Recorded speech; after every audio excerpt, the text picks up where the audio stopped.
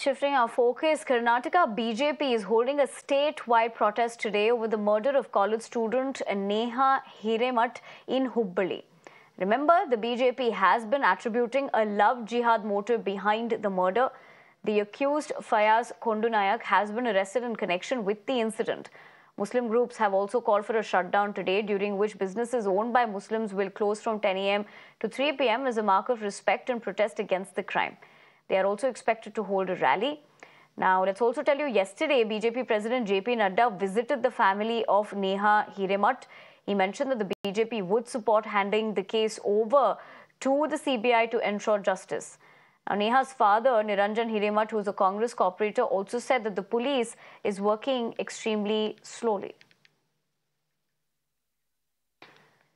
Neha, my colleague, joins me for more on this. Neha, good morning. Given the particular situation that we have over here, um, of course, one angle of it would be the investigation. But with the fact that protests are also taking place, we understand you're reporting from there. Um, give us a quick sense of what they're demanding.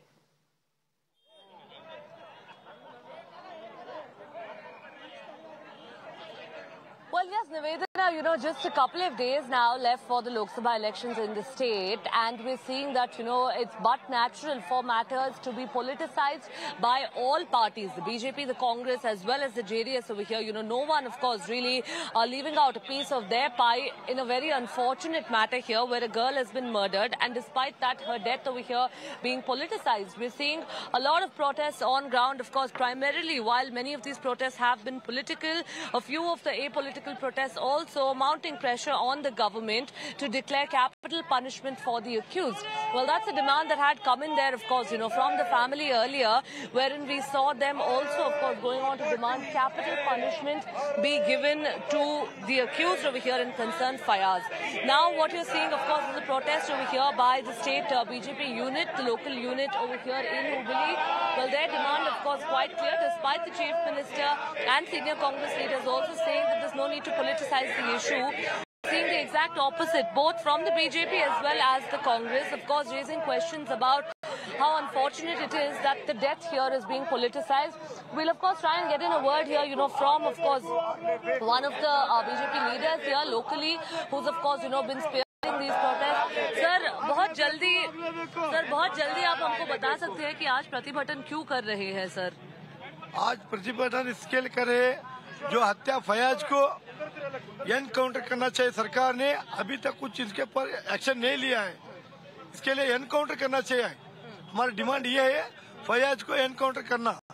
Sir लेकिन सरकार ने तो बोला है कि वो law follow कर रहे हैं सर और लॉ के हिसाब से जो अभी होना है नेक्स्ट वही होगा। और चीफ मिनिस्टर सिद्धरामैया ने भी बोला है कि आज एक्शन जो भी लेना है वो पुलिस की तरफ़ से होगा कि किसी को भी इन्वेस्टिगेशन में इंटरफेयर नहीं होना चाहिए। पुलिस को कौन इन्फॉर्म देना है? पहला बोलो, आप पुलिस को सरकार ने बोलना चाहिए ना? जो सरकार बोलते हो पुलिस करते हुए काम. आज हिंदू लोगों के लिए कुछ रक्षण नहीं है। परसों गदग में चार लोगों का हत्या हो गया। ये इसमें तो कॉलेज कैंपस में हुआ। जो कॉलेज विद्यार्थी के लिए कुछ भी रक्षण नहीं दे रहे सरकार ने। Well, yes, you know, of course, even as the BJP is protesting right now in Hubli, we're seeing that, you know, statements have come in from, of course, not just the BJP national president, JP Nadda, but also to counter that, you have Karnataka state ministers as well, Priyank Kharge and others, who have been demanding that there's no need to politicize this issue. Well, if we're talking about the investigation, which should be the focus right now, the police, of course, has arrested accused hmm. Fayaz an hour after the incident took place.